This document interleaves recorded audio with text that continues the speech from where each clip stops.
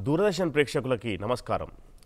ఈరోజు మనం సాహిత్య పరిచయ కార్యక్రమంలో భాగంగా ప్రముఖులైనటువంటి కవులని వాళ్ళ సాహిత్యాన్ని పరిచయం చేసుకుందాం. తెలంగాణ నేల మీద అనేక మంది కవులు తమ అక్షరాలతోటి ప్రజా జీవితాన్ని అక్షరాల్లోకి తీసుకొచ్చారు. జీవద్భాషలో కవిత్వాన్ని పరిపూర్ణం చేసి ప్రపంచానికి అందించినటువంటి ఘనత ఇక్కడి కవుల్ది. అట్లాంటి గొప్ప గొప్ప కవులైనటువంటి వాళ్ళ సాహిత్యాన్ని మనం పరిచయం చేసుకోవడం వల్ల మనము ఆ సాహిత్యాన్ని తెలుసుకున్న వాళ్ళమైతాము అట్లాగే మన కవుల్ని మనం గౌరవించుకున్న వాళ్ళమైతాం. తెలంగాణ రాష్ట్ర అవతరణ అనంతరం సాహిత్యంలో తమ వంతు కృషి చేసినటువంటి కవుల కృషిని అందరినీ కూడా గుర్తు చేసుకోవాల్సినటువంటి అవసరం ఉంది. అందులో భాగంగా ప్రముఖమైనటువంటి కవి మునాస వెంకట్. విముక్త జీవుల గానాన్ని జీవితాన్ని జీవద్భాషలో పలికించినటువంటి గొప్ప తాత్విక చింతనాపరుడు మునాస వెంకట్. నల్లగొండ జిల్లా మట్టిని పిడికిట పట్టి సాహిత్యంలోకి తీసుకొచ్చి ప్రపంచానికి చాటినటువంటి గొప్ప కవిగా మునాస వెంకట్ గారు మనకు కనబడతారు. ఇవాళ తెలంగాణలో అనేక మంది కవులు ఉన్నప్పటికీ తనదైన ప్రత్యేకమైనటువంటి ముద్ర ఉంది. అది అస్తిత్వపరమైనటువంటి ముద్ర. ఆయన రాసినటువంటి ఎణ వర్జి మెద కవితా సంకలనాలు ఆయనని మనకు అర్థం చేయిస్తాయి. అట్లాంటి ఒక గొప్ప కవిని ఈరోజు మనం పరిచయం చేసుకుందాం.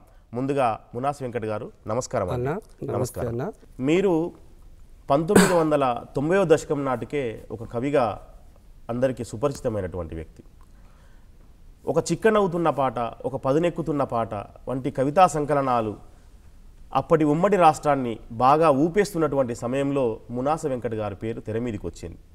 ఎట్లా అంటే ఒక కుల వృత్తికి సంబంధించినటువంటి జీవితాన్ని చాలా సహజంగా కవిత్వీకరించిన కవిగా మునాస వెంకట గారు ఉన్నారు పంతొమ్మిది వందల తొంభైకి ముందు అంటే ఎనభైవ దశకం నుంచి నేను కవిత్వం రాస్తున్నాను. ముఖ్యంగా ఆనాటి దళిత సాహిత్యం దళిత బహుజన సాహిత్యం కంటే ముందు కూడా నేను కవిత్వం రాసేవాడిని. అయితే ఆ క్రమంలో నాకు ప్రత్యేకంగా ఈ తెలంగాణ నేపథ్యానికి సంబంధించి తెలంగాణ నేల తెలంగాణ జీవభాష ఈ జీవభాషలో తెలంగాణ కవులకి కోస్తా కవులకు దక్కిన కవితా గౌరవం తెలంగాణ కవులకి అంటే ఆ, కాళోజీ గారు దాశరథి గారు తప్ప కవితా గౌరవం తెలంగాణ కవులకు దక్కలే. తెలంగాణలో అద్భుతమైన జీవిత విధానం ఉంది. తెలంగాణ ప్రజలు అమాయకులు కుక్కపేగులు వాళ్ళు వాళ్ళకు అద్భుతమైన ప్రేమ ఉంది. తెలంగాణలో అడుగడుగున సామెతలు జీవ తెలంగాణలో నాకు తెలిసి కాగితం మీద రాయని కవుల సంఖ్య చాలా ఎక్కువ వాళ్ళ కాగితం మీద రాయని కవులు తెలంగాణ ప్రజలు. అంటే ఒక మౌఖిక జానపద మౌఖిక వారసత్వం. జాగ్రత్తం వారసత్వం పాటలు ప్లస్ ఒక రోజు ఉదయం పొద్దుగాల కోడి కూసిన కానించి నాగలి కట్టి కానించి మొదలు పెట్టుకొని అర్ధమరాత్రి ఇంటికి చేరుకునే సమయానికి ఆ జీవిత విధానంలో ఏవైతే కొనసాగింపు ఉంటుందో ఒక పంచాయతీ కానీ ఒక పేరెంటం కానీ ఒక అనుభవాలు. రీత్యా కూర్చున్నప్పుడు ఒక సామెతతో మొదలయ్యి ఇంకో సామెతతో ఎండయి మధ్యలో అనేక సామెతలతో వాళ్ళ జీవితం మొత్తం ఆ రోజువారీగా నడుస్తూ ఉంటుంది. ఈ సామెతల్ని నేను చిన్నతనంలో మా అమ్మమ్మ ఊరికి పోయినప్పుడు గమనించినప్పుడు అద్భుతమైన ఈ సామెతలు ఉపమానాలు ప్రపంచంలో ఏ తత్వవేత్త కూడా చెప్పలేని గొప్ప మాటలు ఇవి ఇవి సాహిత్యం కాదా? ఇవి కాగితం మీద రాసి ప్రచురించి గ్రంథాలయాలకు వచ్చిందే సాహిత్యమా? ఇదంతా సాహిత్యం కాదా? అద్భుతమైన సాహిత్యం. ఏ వేమన్న పదాలకు కానీ అద్ ఊరు ఊరున అడుగు అడుగున దళితులు సంగీతకారులుగాను తత్వవేత్తలలాగాను పాటగాళ్ళలాగాను ఏవైతే కళలు ఉన్నాయో ఈ అద్భుతమైన కళలు ఎవరైతే గొప్పవాళ్ళుగా భావించి వాళ్ళు నగరాల్లో వాటిని సృజిస్తున్నారో గ్రామాల్లో అద్భుతమైన సంగీతం ఉంది అద్భుతమైన పాట ఉంది అద్భుతమైన తాత్విక చింతనతో కూడుకున్న సామెతలు ఉన్నాయి అద్భుతమైన జీవిత విధానం ఉంది అద్భుతమైన ప్రేమ ఉంది లాలింపు ఉంది చక్కటి జీవితం ఉంది. ఇంత అద్భుతమైన గ్రామాల్ని వదిలిపెట్టి నగరాలకి నగరాల నుంచి విదేశాలకి డాలర్ల చొప్పున పోయేసి ఒక్కొక్కసారి రవి నాకు అనిపిస్తుంది ఈ ఎక్కువ చదువు చదివిన వాడు తల్లిదండ్రులకు ప్లస్ వాడు పుట్టిన ఊరికి దక్కడేమో తక్కువ చదివిన వాడు మాత్రమే ఉన్న ఊరికి తల్లిదండ్రులకు చెందుతాడేమో వాడే మహానుభావుడు వాడికే దండం పెట్టాలేమో అనిపిస్తుంది. ఈ చదువు ఈ గ్లోబలైజేషను ఈ ప్రపంచీకరణ ఎంతమందిని ఎడబాసింది ఊర్లని తల్లిదండ్రులని చుట్టాలు అందరినీ ఎడబాసిపోయింది. ఆ ఆవేదన నన్ను బాగా బాగా బాగా గురి చేసింది అంటే మీరు ఒక కవిగా మాత్రమే కాకుండా అంటే poet himself is a philosopher as so మీలో ఒక తాత్విక చింతన ఉంది. ఈ సమాజం పట్ల ఈ తెలంగాణ మట్టి పట్ల మీరు ఒక తీవ్రని ఆవేదన చెందుతూ ఆలోచిస్తున్న తనం ఉన్నది. ఇది మీకు ఎట్లా అలవాటైంది? అంటే మీ నేపథ్యం ఏంది? మీరు సాధారణంగా సాహిత్య వాతావరణం ఉన్న కుటుంబాలు చాలా తక్కువ తెలంగాణలో. అట్లా చూసుకున్నప్పుడు మీకు ఎట్లా సాహిత్యంలోకి మీరు ఎట్లా వచ్చారు అసలు మీ నేపథ్యం? అమ్మ. అడుగడుగున అమ్మే నా సాహిత్యం. జీవ భాష ఒకరోజు మా అమ్మ మా తమ్ముని ఇంట్లో మిద్దె మీదకి వెళ్ళి పడి కాళ్ళు లేవలేని స్థితిలో బల్లెపీట మీద పడుకుంది. ఎదురుగా చిన్న TV black and white TV. అందులోకి చూసుకుంటున్నప్పుడు మన తెలంగాణ కోసం పిల్లలు ఆత్మహత్య చేసుకున్నారు. శ్రీకాంతచారి సజీవదాన్ని చూసినప్పుడు మా అమ్మ ఏం పుట్టిందిరా? మా ఊళ్ళోకి మా చిన్నతనాన మెకం వచ్చింది ఊళ్ళకి గత్తరు వచ్చింది కరువు వెనుక కరువు వచ్చింది గడీలెమ్మటి దొరలు వచ్చి ఇంట్లోకి వచ్చారు ఎన్ని వచ్చినా కూడా కొడుక మేము మాత్రం భయపడలేదు. భయపడలేదు. కరువు వెనుక కరువు ఇన్ని కరువులు వచ్చినా రేగడ బుడద తిన్నాం కానీ రెక్కాగిందా కొడక? ఎందుకు చేస్తుర్రా ఈ పిల్లలు? ఏమైందిరా ఇది? ఏంటిది అని ఆమె ఆమెకు ఎన్నో ప్రశ్నలకి జవాబు దొరికింది కానీ తెలంగాణ పిల్లలు ఎందుకు చనిపోతుర్రు అనే దానికి మా అమ్మకి జవాబు దొరకక కంటి నీరు పెట్టింది. అంటే మీరు చెప్తున్న దాని ప్రకారం తల్లిలో ఉండే ఆ జాలి దయ కరుణ గుణం మీలో కూడా వచ్చింది. అంటే మీరు మీకు స్పందించే హృదయం ఉంది ఈ స్పందించే హృదయము ఎట్లా వచ్చిందంటే మన ఈ కుటుంబం నుండే వస్తుంది. అంటే మీ అమ్మ అంత కన్నీళ్ళు పెట్టి బిడ్డలు చనిపోతున్నారు అని బాధపడ్డదాన్ని మీరు కవిత కూడా రాసిండు. మీ ఏనా పుస్తకంలో ఆ కవిత ఉంది. చాలా అద్భుతమైనటువంటి కవిత. సో అంటే ఎట్లాంటి ఒక వాతావరణం ఉండేది? నల్లగొండ జిల్లాలో బండపాలెం అనేటటువంటి ఊరు. మా అమ్మ వాళ్ళ ఊరు. మీ అమ్మ వాళ్ళు మీరు అక్కడే పుట్టారు. అవును. మరి అక్కడ ఎట్లాంటి వాతావరణం ఉండేది? ఆ- ఆ పల్లెతో మీకున్నటువంటి అనుబంధం ఏది? బండెపాలెం అందించినటువంటి గుండె కలిగిన కవిత్వం మునాస వెంకటది అని చాలామంది కవులు చెప్పుకుంటారు. ఎట్లా మీకు ఆ ఊరు ఒక ఆలంబనగా నిలిచిందంటారు? అంటే మాది పెద్ద కుటుంబం. మా నాన్న ఫోర్త్ క్లాస్ ఎంప్లాయ్ చిన్నపాటి ఎంప్లాయ్. ఆయన జీతం ఆయన మట్టుకే సరిపోయేది. మాది పది మంది సంతానం గల కుటుంబం ఎనిమిది మంది. మా అమ్మ ఒక్కతే ఈ కుటుంబాన్ని పోషించేటప్పుడు మా అమ్మ తరపున బలగం ఎవరైతే ఉన్నారో మా మేనమామలు ఉమ్, పెద్ద మామ నడిపు మామ చిన్న మామ.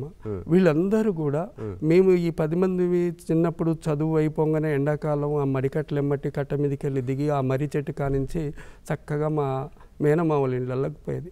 మమ్మల్ని వాళ్ళు అత్యంత ప్రేమగా చాలా అయితే తెలంగాణలో దాదాపు కింది కులాల వాళ్ళు రాసే కవిత్వం అంతా కూడా తల్లి నుంచి వచ్చిన ప్రేరణే. ఎందుకంటే మిగిలిన కులాలలో ఎక్కువ వరకు తండ్రి అన్ని బాధ్యతలు ఆస్తులు సంపాదించేసి చాలా మంది అగ్రకుల కవుల్లో బాపు బాపు అని కవిత్వం రాస్తారు. కింది కులాలు మాత్రమే అమ్మ అమ్మ అని కవిత్వం రాస్తారు. కారణం ఏంటంటే మనకు అమ్మ నుంచి వచ్చిన ప్రేమ మనకు ముఖ్యంగా తెలంగాణ వాళ్ళు అంటేనే కుక్క పేగులోళ్ళు జాలి దయ.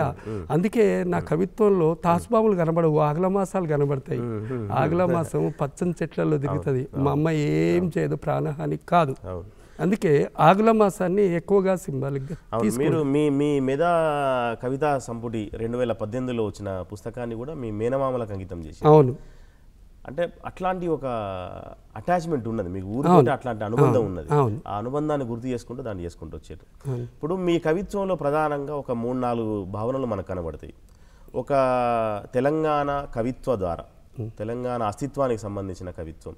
రెండు దళిత బహుజన కోణానికి సంబంధించినటువంటి ఆ జీవితం అంటే ఏదైతే వృత్తి ఉందో ఆ వృత్తి చుట్టూ అలుముకున్నటువంటి జీవితం ఏదైతే ఉందో ఆ అల్లుకున్న జీవితాన్ని మీరు చాలా సజీవంగా దాన్ని పట్టుకొచ్చారు మూడోది భాష.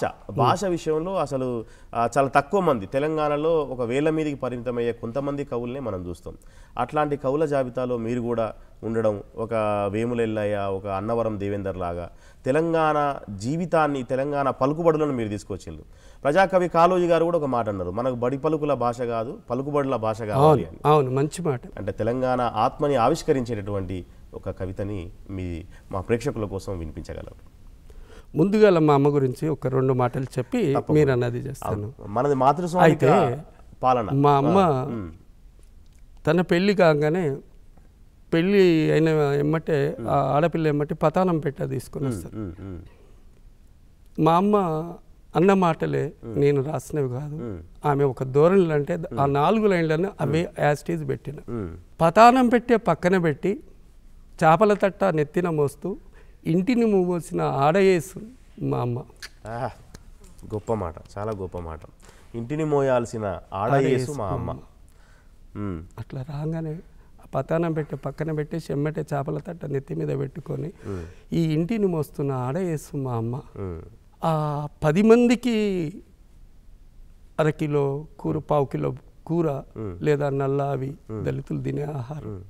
అవి తీసుకొచ్చి ఇంతమందికి ఈరోజు కిలో కూర తీసుకొస్తే పెళ్ళ మొగళ్ళకే సరిపోవట్లేదు. ఆ పావు కిలో కూర తీసుకొచ్చి పది మందికి ఎట్లా పెట్టింది? అంటే. క్రీస్తు రొట్టెలు పంచిన రహస్యం మా అమ్మ చేతుల్నే తేలిపోయింది. గొప్ప మాట. చాలా గొప్ప పోలిక. ఎన్నడూ కూడా కలలనిచ్చిన మా అమ్మ కలలోకి జార విడిచలే. చాకిరితోటే దునియాతో మాట్లాడింది మా అమ్మ. మా అమ్మ ఎప్పుడు చూసినా గుండెకాయలా కనిపిస్తుంది. మా అమ్మ అత్యంత ఆ అమ్మ నుంచి వచ్చిన కవిత్వమే ఇది.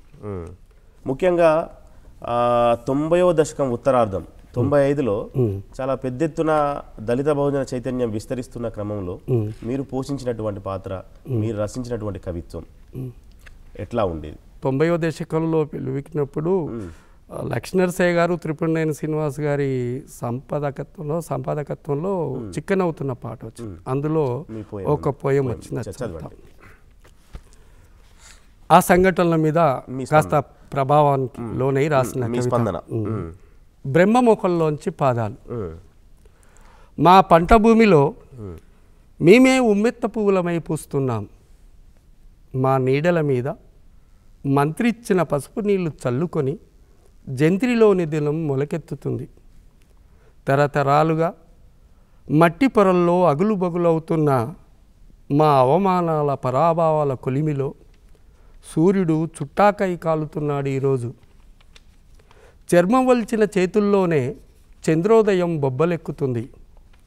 గురిపెట్టిన చూపుల్లో నుంచే బలైన బొటనవేలు పొడుచుకొస్తుంది. పంచముడి పంచకంలో తప్పనిసరై పంచభూతాలు పవిత్ర స్థానం చేస్తున్నాయి. నుదుటి మీద గీత దాటి నుదుటి మీద గీత దాటి మేమిప్పుడు కూతకొస్తున్నాం. ఇప్పుడు పుట్టుకొస్తున్నవి బ్రహ్మముఖంలోంచి పాదాలు. చాలా ధిక్కారమైనటువంటి కవిత. వేల ఏళ్ళ దుఃఖాన్ని తిరుగుబాటుని మీరు కేవలం కొన్ని అక్షరాల్లోనే వినిపించేటటువంటి ప్రయత్నం చాలా బలంగా చేశారు అట్లాగే మునాస వెంకట్ గారు అంటే తెలంగాణ మట్టిపల్లెను మీరు చాలా సజీవంగా కవిత్వీకరించినటువంటి సందర్భాలు ఉన్నాయి. దానికి సంబంధించినటువంటి నేపథ్యం ఏంది? అసలు ఎందుకు మీకు తెలంగాణ పల్లె మీద అంత ప్రేమ? మాది నల్గొండ జిల్లా. కూతవేటుకు దూరంలో నాగార్జున సాగర్ ఉంది. కానీ మాకెన్నడూ నీళ్ళు వచ్చిన పాపాన పోలేదు. నీళ్ళు కూడా పల్లం వైపు పోతాయి. ఆ పల్లంలో మేము లేము. అక్కడ ఆంధ్ర వాళ్ళు ఉన్నారు. మా పక్కకు నీళ్ళు ఉండి మా తలాపున నీళ్ళుండి నోట్లకు నీళ్ళు రాకపోతే బాధ ఉంటుంది కదా. ఆ. సహజంగానే నీళ్ళు లేవు. రెండోది అక్కడ ఊర్లన్నీ కూడా ఫ్లోరస్ తోటి కాళ్ళు వంకర తోటి. అనేక ఇబ్బందులు ఉన్నాయి అవును మీ కవిత్వంలో ఫ్లోరైడ్ మీద కూడా చాలా పోయమ్స్ ఉన్నాయి. ఎంత ఘోరం అంటే రవి మేము పుట్టిందే కింది కులాలలో చివరికి మేము నివసించే ప్రాంతం కూడా అంటరాని ప్రాంతం అయితే ఎంత బాధ అయింది ఇక్కడ ఒక మనుషులకే కాదు ప్రాంతం కూడా అంటరాని ప్రాంతంగా మిగిలిపోయిందా. అనే వేదన నన్ను బాగా కలిసివేసింది. ఉమ్, దాని మీద మీరు రాసిన ఒక పోయం చెప్పండి. అవిటి పొద్దు అద్దం పడిగిప్పిందా రూపం పాపమా నిలువున పగిలిన అంతరం నీడల్ని చూసి గోడుమన్నా గూడెం కడుపులో పిండం గడ్డకట్టిన దుఃఖం మతి ముక్కలై ఎన్ని వంకర్లయిందో పెయ్యి కోరిక కట్టెపట్టుకొని నడిసే నీళ్ళు తాగి నీళ్ళు పోసుకున్నట్టుంది. ఈర్యం ఇజ్జతేది. మట్టి మీద మన్ను పోయ్యా తొట్టెల్లో పిల్లలు తొట్టెల్లోనే ఉండే. ఫ్లోరిన్ ఉగ్గు తిని పొరబోతుంటే నీళ్ళకు నిండు మనిషే మాయమాయే. కాలం వంకరబోయిందో కాళ్ళొంకరబోయినాయో బతుకు దూరం కన్నీళ్ళ అడుగులతో కొలిసే. ఎక్కుడు చింతే దిగుడు చింతే. తాడెక్కలేక తల్లడిల్లే. ఎన్ను వంగే మన్ను కుంగే. పని చుట్టూ పాకే ఇంత జీవులు. బొక్కలు కులబడ్డ తోలుమూట సచ్చినట్టో బతికినట్టో మనిషిలా సాగదీస్తే బాగుండు. మరిగుజ్జు చందమామ మళ్ళీపోతుంటే పుచ్చిన నవ్వు పుదిచ్చుకొని తెల్లారే. పిల్లెవరో తల్లెవరో? బాలింతాసన బుసకొడుతుంది గొంతులో ఇషం దాసుకున్న శివుళ్ళు రాజ్యం రాలేసిపోతుంటే కళ్ళల్లో నీళ్ళు పైకొచ్చే. అదే పనిగా అవిటిపొద్దు ప- పడమటికి దేకుతుంది. తేట గంగమ్మ తెప్పకు మూరెడు మూరెడు పెయ్యిలు ముడుపు కట్టుకొని ఉన్నాయి శాప విమోచనమయ్యేటట్టు మంచినీళ్ళ మంత్రజలం సల్లే దేవుళ్ళకు దండం. ఇది నక్కలగొండ ప్రాజెక్టుకు మంచినీళ్ళు రాబోతున్నాయన్న సంతోషంతో అక్కడ వేసిన దానికి సంతోషంగా స్పందించి రాసు- రాసిందన్న ఇది. వెంకట్ గారు అంటే మీలో ఈ రెండు రకాల భావనలు ఉన్నాయి ఒకవైపు మీరు పుట్టిన నేలకు సంబంధించిన విముక్తికి సంబంధించిన గానం ఉంది. మరొక వైపు మీ సామాజిక నేపథ్యం ఏదైతే ఉందో దానికి సంబంధించిన కవిత్వం కూడా చాలా ఎక్కువ రాసింది. బహుశా నేను అనుకుంటా తెలుగు కవిత్వంలో అత్యంత ఎక్కువగా సామాజిక చింతనకు సంబంధించిన కవిత్వం రాసిన కవిగా మిమ్మల్ని చూడొచ్చు. అట్లా చూసుకున్నప్పుడు మీరు రాసిన ఒక కవిత జాల అనే కవితలో ఎవరు పన్నారో తీరం మీద వల నా ఒంటి మీద బిగుసుకుపోయే.